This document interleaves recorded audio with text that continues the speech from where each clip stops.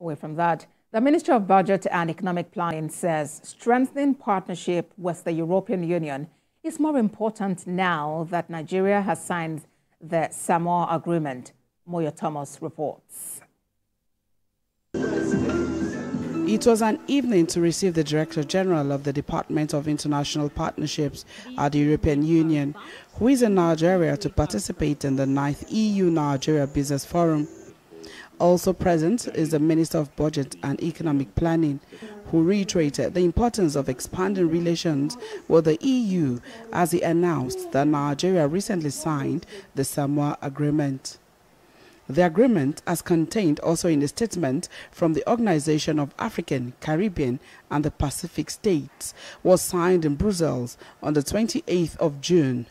It is aimed at strengthening abilities to implement sustainable development policies, capacity building, among other benefits. You know the European Union is investing a lot in a Team Europe spirit, and I will never insist more on Team Europe. Team Europe means all of us, so it's not just me and the European Commission, the European delegation, but it's really all the EU member states, and I'm really happy to have met many of you already. There is an evolving relationship between Nigeria and EU.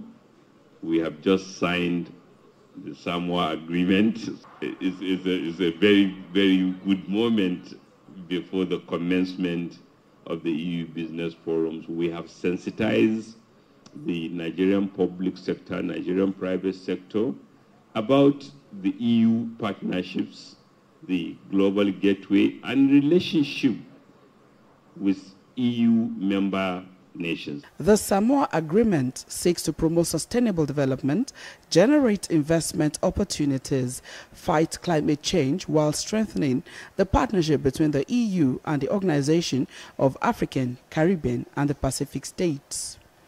It met with some challenges in Nigeria as some civil society organizations earlier raised concerns over Article 9, stating that the pact is a subtle way of introducing LGBTQ plus to Nigeria.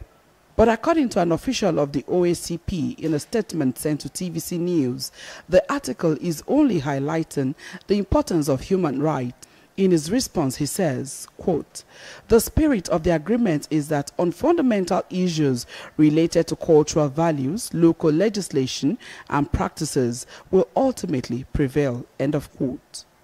The Minister of Budget and Economic Planning therefore encouraged Nigerians to focus on the benefit of the agreement and profitable partnership with the EU.